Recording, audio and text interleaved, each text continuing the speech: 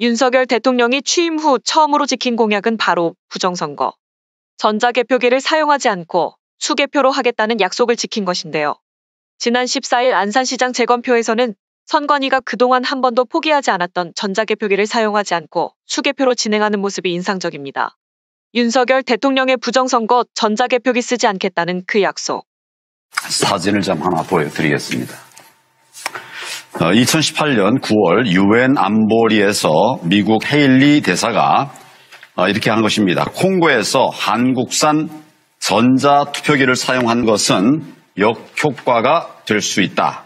이러면서 공개 경고한 사실 혹시 알고 계신가요? 글쎄 뭐 얼핏 뭐 저 어디 유튜브 같은 데서 한번 들은 아, 예. 예, 본 기억이 나긴 하는데 한번 이것 보십시오. 2020년 작년 10월 16일의 신문입니다. 기사 제목은 한국산 개표기로 부정선거, 혼란한 키르키스, 결국 대통령 사임 사태, 이라크, 콩고 이어서 기르키스타탄도 부정선거 시비, 세 나라 모두 한국산 장비 투입 이렇게 되어 있습니다. 네. 그 작년 10월 키르키즈스탄 총선에서는 한국산 어, 전자 개표기를 사용을 했습니다. 네. 어, 그러는데 대통령을 지지하는 범여권 정당들이 90%에 가까운 어, 그런 승리를 했습니다. 어, 결국 이것이 나중에 막 의석은 확보했지만은 부정선거로 밝혀져 가지고 어, 대규모 시위가 일어나고 또 대통령 궁이 불탔습니다. 어, 결국은 어, 중앙선관위원장이 어, 지난번 총선은 원천 무효다 이렇게 선언을 했습니다. 이런 내용 혹시 알고 계신가요?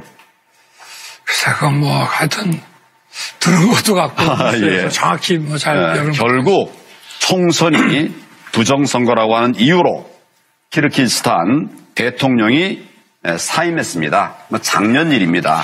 뭐 그런데 공교롭게도 2018년 부정선거 시비가 있었던 이라크 그리고 콩고에 이어서 2020년 키르키스탄에서도 모두 한국산 선거 장비가 사용된 것으로 알려졌습니다. 뭐 이게 과연 우연의 일치일까? 뭐 이런 걱정이 되고 너무 좀 이상하지 않습니까? 어떻게 이라크, 콩고에 이어서 키르키즈스탄까지 부정선거 시비가 일어나는 나라들마다 모두 다 한국산 장비를 어, 사용하게 된 걸까요? 뭐 이런 보도를 보면서 후보님은 어떤 생각이 드십니까? 하여튼 뭐 부정선거다 아니다라는 문제를 떠나서라도 이런 선거의 공정성에 조금이라도 예, 국민들이 의혹을 갖게 되면 한국산 기기를 썼다는 것이 네. 문제입니다. 그래서- 지금 제가 4.15 총선에 관한 이야기를 하고 있고 네, 네. 어, 개선 방안으로 가장 중요한 것이 네. 전자 개표를 수개표로 바꾸는 것이다.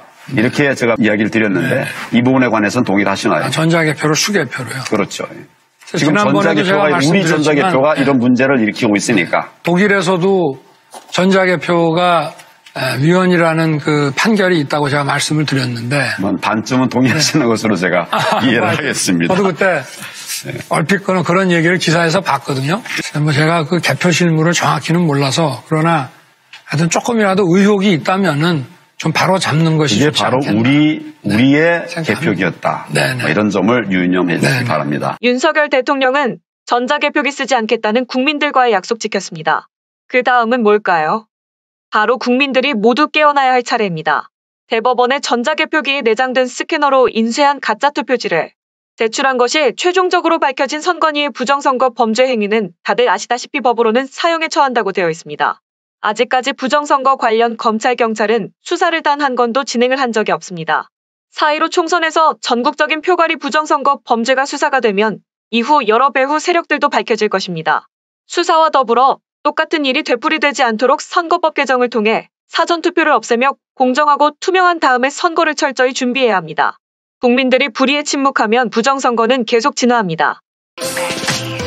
지켜내자 자유민주주의 소중한 한 표의 권리. 공정하고 투명한 선거 위에 우리가 바로 세워야 할 정의. 부정선거로부터의 승리 쟁취하자 마지막까지.